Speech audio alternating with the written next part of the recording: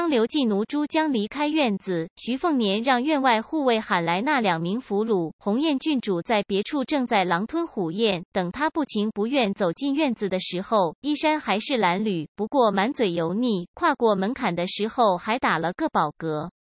这让身旁那名依旧披甲携带刀弓的柳字军旗卒感到新奇，大概是发现原来她这样的女子也不是真正不食人间烟火。桌上还剩小半坛绿蚁酒，这显然是刘继奴他们嘴下留情了。徐凤年端起酒碗，指了指几张石凳，鸿雁郡主一屁股坐下。那名对徐凤年越发敬若神明的年轻骑士依旧老老实实站着。鸿雁郡主瞥了眼桌上的酒坛酒碗，下意识抽了抽鼻子。狮子多了不怕痒，干脆就自己给自己倒了一碗酒。绿蚁酒吗？他在倒马关尝过，甚至在王庭京城也喝过。以前没觉得多好喝，今儿一碗酒从舌尖辣到喉咙，再烧到肠胃，整个人都瞬间暖和了。保暖保暖，总算都齐全了了。顺带着，他看徐凤年的眼神又多了几分挑衅。他知道徐凤年当时没有让他自尽，他在想死就要比想活还要难很多。这当然未必就是好事。在进入虎头城之前，他想过徐凤年无数种羞辱他这个鸿雁郡主的阴毒法子。不过就目前看来，处境确实糟糕，可还在他的承受范围内。他仰头一大口喝进碗中酒，擦了擦嘴角，媚笑道：“怎么，王爷想要让我侍寝？那为何不让我换一身洁净衣裳？”徐凤年反问道：“需要我送你把镜子照一照吗？让你看一看自己这会儿啥德行？”鸿雁郡主恼羞成怒，刚要抬起手丢掷酒碗，很快就抑制住这股冲动，沉默着又倒了一碗酒，能蹭一碗就是一碗。徐凤年也不理睬这只落毛凤凰，转头看向那名自称祈福龙冠的骑卒，说道：“你习武很有天赋，这也是我不杀你的理由。”还有一个理由，徐凤年没有说出口。从起伏龙冠的眼睛里看不出，连鸿雁郡主这种局外人都会有的仇恨。就算一个人可以隐藏脸色和眼神，他的气机流转在徐凤年眼中也根本无所遁形。而气机起伏是跟喜怒哀乐直接挂钩的，这就说明起伏龙冠这块被埋没的璞玉，也许能够在武道意图上走得很远。当然，最关键的原因是徐凤年希望有一个人能在将来制衡弟子于地龙这个年纪最小却身为大徒弟的孩子。不同于性格鲜明的王生和吕云长，存在着太多不可预料。徐凤年不希望今后的江湖在自己手上多出一个轩辕大盘。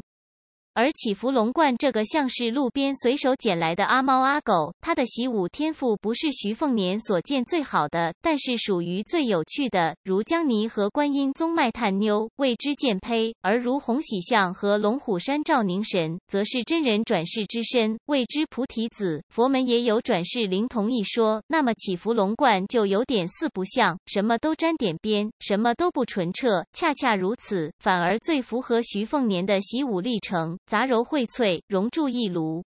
何况当时那场厮杀中，起伏龙冠真真切切捕捉到了徐凤年这位天人在呼吸之间的那一线之隔。当今天下不过双手之数，这个无名小卒便位列其中。起伏龙冠现在才十八岁，就已经是柳归亲军铁骑之一。要知道，刀法第一人的顾剑堂在这岁数，也许还不如起伏龙冠。当然，徐凤年当初更是如此了。起伏龙冠有些紧张，颤声说道：“北凉王爷，小的从小就是个孤儿，哪有饭吃就哪混。王爷要是信不过小的，可以让小的当个北凉边军，部族都行。杀北莽肯定不手软。”鸿雁郡主在这个时候阴阴笑着，煽风点火道：“孤儿，说不定你爹娘就是死在了北凉铁骑马蹄下。君子报仇，十年不晚吗？”起伏龙冠远不如他有心计城府，却也不是缺根筋的傻瓜，一时间没忍住，直接骂道：“贱人，放你娘的臭屁！”这个年轻人红着眼睛道：“我爹娘就是被你们这些有钱有权的南朝王八蛋活活打死的。”鸿雁郡主勃然大怒：“南朝？南朝算个什么东西？整个南朝就是我耶律姓氏养的一条看门狗。”我是耶律洪才，本该是你这种低贱之人一辈子都走不进一百步内的王帐郡主。起伏龙冠呼吸急促，胸膛起伏不定，然后大踏步上前，对着这个娘们就是一耳光摔过去。鸿雁郡主也不是木头，低头后退，一溜烟躲在了徐凤年身后，一脸得意的喋喋不休：“嘿，打不着！瞧你这点出息，活该你一辈子没办法给你爹娘报仇。哟，说不定你这种废物原先在军中一直给南朝那些仇家效力也说不定哦。”起伏龙冠突然平静下来，死死盯住这个女人。鸿雁郡主感到一种刻骨铭心的寒意，小心翼翼拿回酒碗，又给自己倒了一碗绿蚁酒。此时敲门声轻轻响起，徐凤年倒了两碗酒，轻声道：“旦台前辈请进。”当那名不速之客坐下时，徐凤年递过去一碗酒，对方也不客气，喝了口酒，双颊微红。耶律洪才望着这名高大女子，充满好奇。举手抬足，尽显宗师气度，还有一种扣人心弦的写意风流。徐凤年笑问道：“前辈怎么知道我到了虎头城？”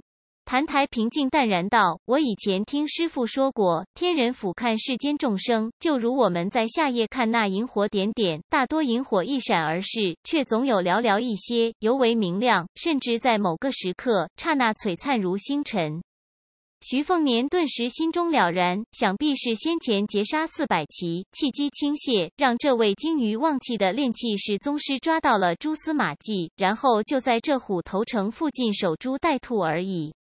按照淡台平静，准确说来是按照这位宗主师傅的阐述，世间人上人的顶尖高手，亦是云间仙人的天下人而已。不过，如拓跋菩萨、曹长青这些高手，他们散发出的萤火会格外惹眼。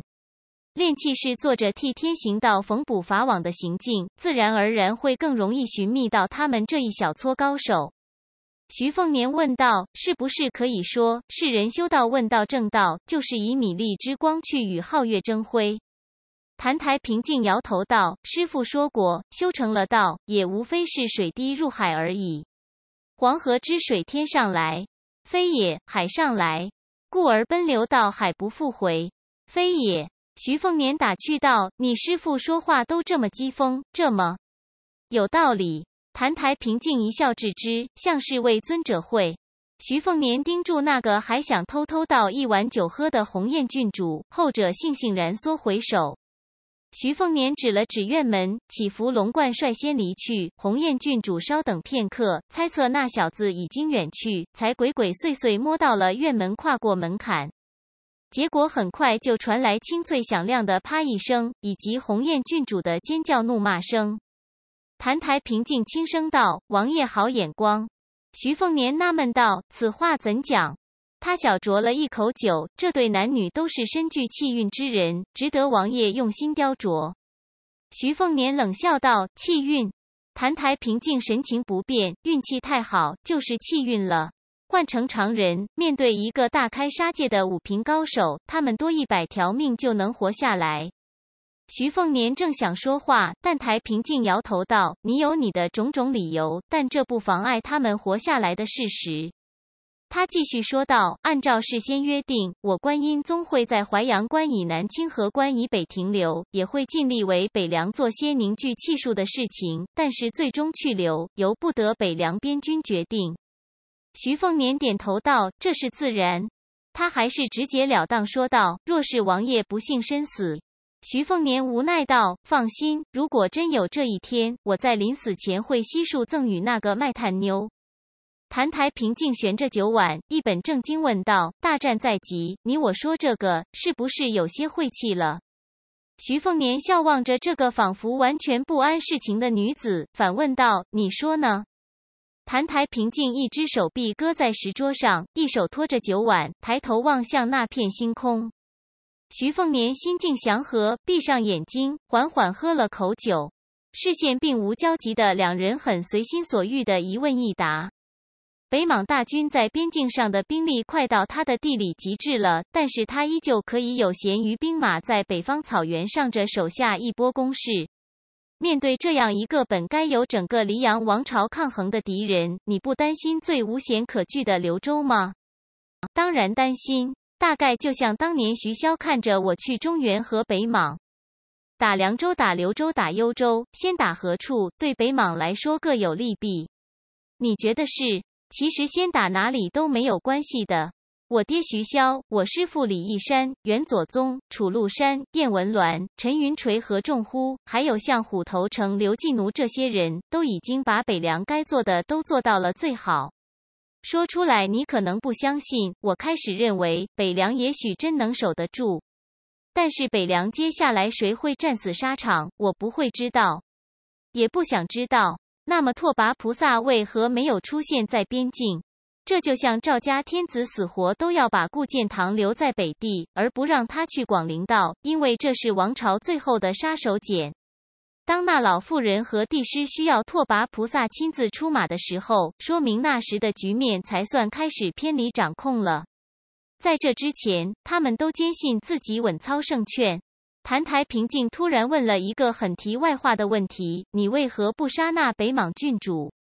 徐凤年哑然失笑，沉默了片刻，跟他一起望着星光点点的天空。当然不是我喜欢他，只是他让我想起了一个我很想念的人，一样喜欢雕富鹅，一样声名狼藉，一样性格刚烈。